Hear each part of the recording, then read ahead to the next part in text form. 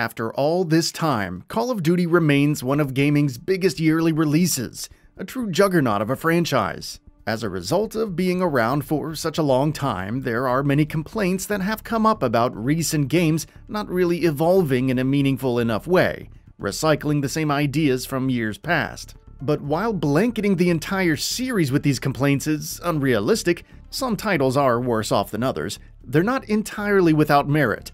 While it comes to military first person shooters, there's only so many ways you can dress up the gameplay and make it feel different especially when releasing a new game every single year for such a long time. There's plenty to be excited about in Call of Duty Black Ops Cold War, but there's plenty that has us legitimately concerned as well. Thankfully, the Black Ops Cold War beta has helped many Call of Duty players discover issues for themselves and report them to Activision, in hopes of having them fixed in time for launch. Today, let's look at the five most prominent concerns, aside from SBMM, since that's more than obvious leading up to launch. Player visibility issues. This one might seem like a bit of a nitpick, but I assure you it isn't. Since the beta has been playable for Call of Duty Black Ops Cold War, Call of Duty players have been noticing and raising concerns about odd visibility issues that seem to give advantages to campers and people who just want to manipulate the map to get ahead. Sometimes players hiding inside a building and thusly obscured by shadows would also be avoiding having their player tag show up on screen, causing them to be virtually invisible to everyone else while still being able to see their opponents perfectly well. In Cold War, some folks are taking advantage of this by standing in shadows or even inside shrubbery, neither obscuring their view but still getting the advantage of keeping themselves very difficult to see. This seems to be particularly prevalent in the cartel map, and it is something that hopefully Treyarch can iron out fast. This is the type of thing that, if unaddressed, could definitely harm the community of the game long term. Overpowered vehicles. Another issue that's cropped up concerns is vehicles. Essentially, they're strong, like really strong, to the point of feeling kind of overpowered. Of course, the reward for commandeering either of these is having some advantage over those on foot, but vehicles feel overtuned in this regard, locking down areas and matches with ease. Whether the solution is to bring down a vehicle's overall hit points, limit the fire rate, reduce explosive splash damage, or something else is up to the developer. For a mode like Fireteam Dirty Bomb, which features such a large play space and encourages quickly traversing between areas, vehicles can be downright oppressive. Hopefully this gets addressed sooner rather than later, especially if Fireteam Dirty Bomb is meant to have any long-term engagement. Flinch removal.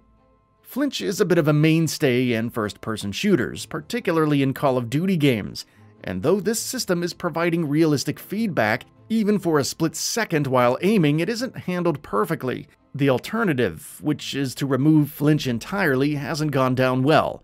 Removing those little moments of somebody losing their aim while being shot now allows weapons like sniper rifles to dominate. Want to run around and easily body someone in one or two shots without any risk of losing your aim, even when being pelted by assault rifle bullets? Say hello to snipers in Call of Duty Black Ops Cold War. This also affects semi-auto rifles, offering advantages to these weapons over submachine guns and shotguns, which give up range for more damage up close, though SMGs are a whole other problem in that regard. How you feel about the changes to flinch will largely depend on how you feel about snipers as a whole. If foregoing flinch altogether, it makes sense to have other penalties for snipers to even things out, like slower ADS time, weapon sway, or reduced damage on body shots. Either way, snipers need to be looked at before launch. Lack of score streak alerts. You would think being alerted when certain score streaks are available would be a given. After all, this is a Call of Duty game where score streaks can be fairly common.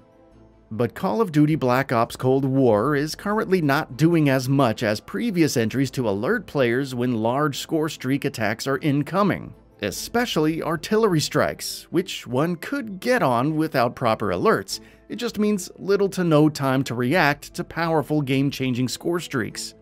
Whichever way you look at it, alerts need to show up properly and offer some kind of counterplay.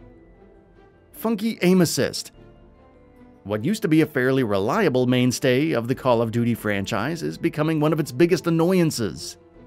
namely the inconsistent aim assist. Complaints about aim assist in Black Ops Cold War have been pretty varied. Some feel it's too generous, to the point of being able to compete with a controller against keyboard and mouse users on PC, while others feel it actually hinders their aim. The reliability of the system is being called into question, and given the fast paced nature of Call of Duty's multiplayer compared to other games, having a consistent aim assist system is important, not just to maintain balance, but also to ensure that gunplay feels right. That's it for this video. If you enjoyed and would like to see more, feel free to hit that subscribe button and hit the notification bell to ensure you'll be notified when new videos go up.